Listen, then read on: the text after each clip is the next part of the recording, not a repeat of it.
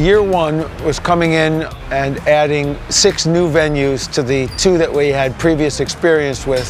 So it was a big jumping in the deep end of the swimming pool experience. And so then we took very, very uh, careful notes of everything we learned from last year. And any place that we had room for improvement, we went full on to implement that. And I think one of the really amazing things about the partnership with the festival is that they are so receptive to anything that we want to do.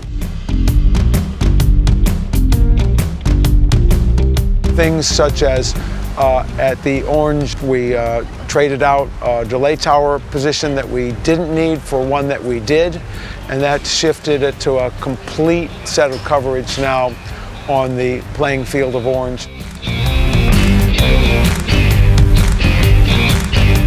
We have 22 tech people here from Meyer Sound, being the system engineers on each stage, and they're from all over the world. And then um, we meet up with the, um, with the Roskilde Festival tech guys from Denmark and also with the Bright Group people from Sweden and Norway. It's very interesting because um, we all work hand in hand. Last year was already good, this year it's even better. This year we were even more excited because we did some changes on some of the stages the, in the system setup. One of those, for example, is uh, Orange. Last year we had the normal Endfire subwoofer array flown um, this year it's a gradient end fired subwoofer array, which is um, upward staggered, down steered, um, to be able to get the maximum cancellation on the stage and also um, backstage of Orange, which was a wish from the um, festival production. We have achieved that by around, let's say, 17 dB. So it's very, very quiet on stage.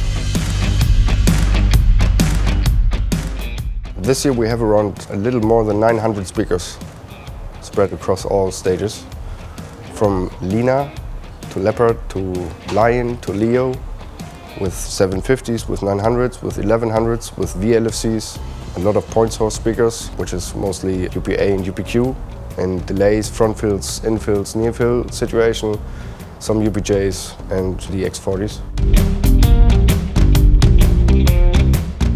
It's a completely unique experience to have a manufacturer in a ongoing relationship with the festival.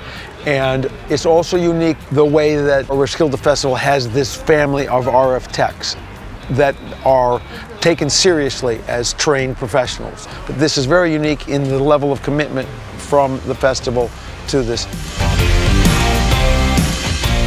Um, the partnership that Meyer Sound has with Roskilde Festival is um, quite unique because having the chance to have Meyer Sound speakers, especially Leo family on all stages on this festival for a week is, uh, I think, the best showcase a manufacturer could get for, for their customers.